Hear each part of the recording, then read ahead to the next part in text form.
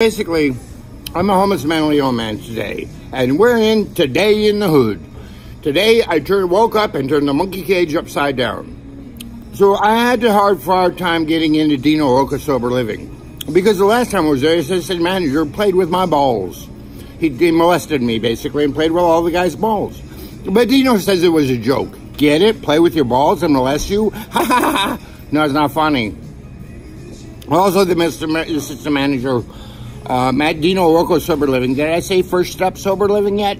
Deno Rocha's First Step Sober Living was the guy was sitting down. Deno told him, uh, the assistant manager told him to get up.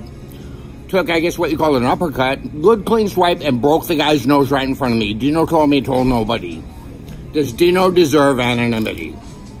We don't know, but this is going on Facebook, Instagram, and YouTube.